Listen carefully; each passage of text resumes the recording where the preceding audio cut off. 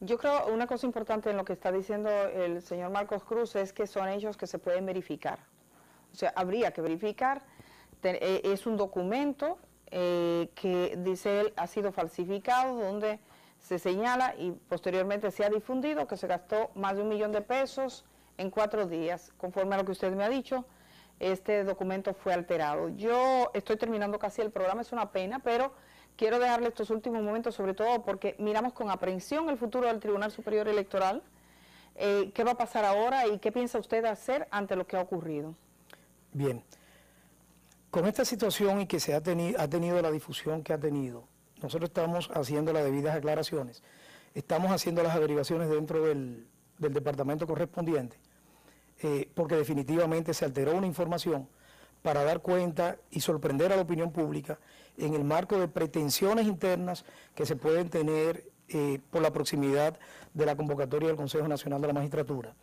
Eh, haber alterado un documento interno, asignarle un consumo de tarjeta que yo no tengo, hasta ese momento no tenía, y que no la vengo a tener hasta principios de abril, y con la cual todavía el tribunal no ha tenido que hacer ningún pago, porque no ha hecho ningún consumo a nombre del tribunal, resulta verdaderamente escandaloso.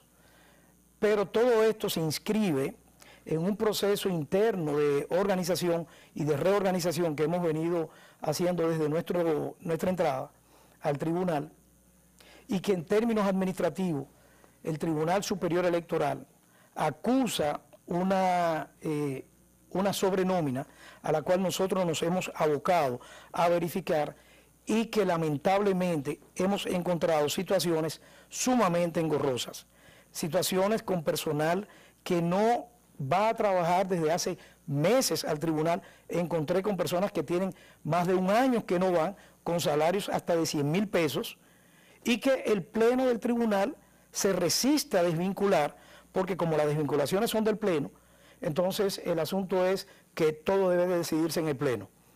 Y como nosotros iniciamos un proceso para identificar las personas que están en nómina y que no van al tribunal, instalamos un sistema en el mes ahora de abril eh, en tecnología. Desde febrero que pusimos al personal a registrarse, porque el personal no registraba sus huellas, ni asistencia, ni salida tampoco. Entonces era difícil saber quién estaba yendo y quién no. Y lo que hemos encontrado en esa situación, a mí particularmente me ha resultado escandaloso. Entonces, en la medida que estamos tomando medidas para identificar esas situaciones, vienen entonces y se vierte todo esto en situaciones que internamente hemos estado enfrentando resistencia, lamentablemente, de los mismos magistrados. Y entonces se presenta esto de que cuatro magistrados están, parecería de que el que está equivocado es el presidente.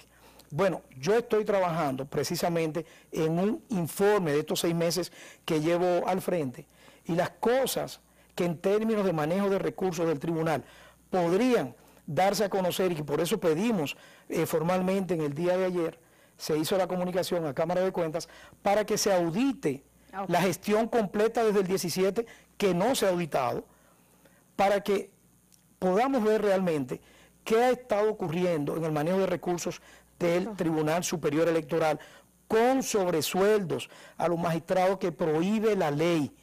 Es todo eso lo que aquí está en juego. Eh, el problema de un personal supernumerario que no está en el tribunal y que se está, está cobrando en el tribunal. Es todo eso lo que nosotros hemos, estado trabajando y arreglando en el tribunal y obviamente en medio de todo esto y de nuestra disposición a resolver esta situación, viene y se sale con una información y se sorprende a la opinión pública.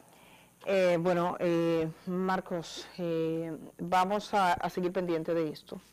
Evidentemente usted ha hecho declaraciones relevantes porque se trata del Tribunal Superior Electoral. Yo voy a retomar algunos de los elementos que usted ha planteado mañana, pero y además todas las partes tienen también la posibilidad de pronunciarse. A mí sí que me parece grave lo de, lo de la tarjeta de crédito, si fue manipulado, y le agradezco que usted haya eh, pensado en este programa precisamente para hacer esta aclaración.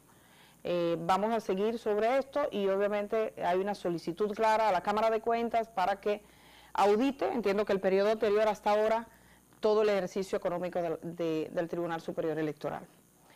es todo por hoy. Mañana vamos a seguir conversando. Esto nos hace pensar mucho en el rigor a la hora de compartir documentos. Hay que verificar. Mañana estamos aquí desde las 11 de la mañana.